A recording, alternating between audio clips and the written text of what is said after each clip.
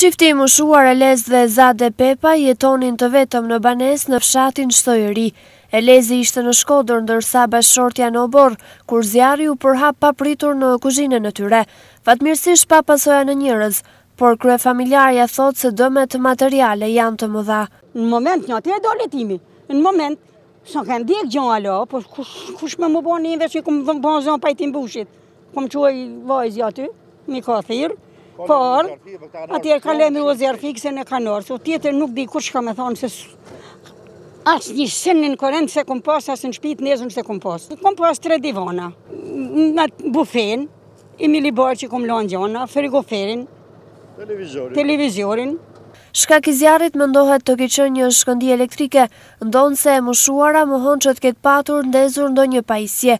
Banorët e zonës e kanë patur të pamundur ndërhyrjen, pasi në këtë fshat nuk ka ujë prej muajsh, si pasojë e shterimit të puseve.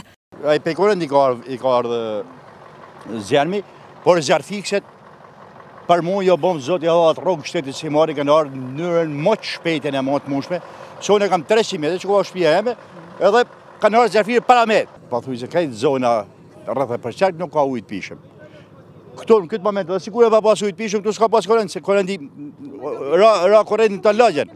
Zjarri është mbyllur vetëm me dëme materiale si pasojë e mbërritjes në kohë të shpejtë të zjarrfikësve, të cilët u koordinuan edhe me operatorin e shpërndarjes së energjisë elektrike për stakimin e energjisë. Çifti Pepa jetonin të vetëm, pasi 12 fëmijët e tyre i kishin në emigracion.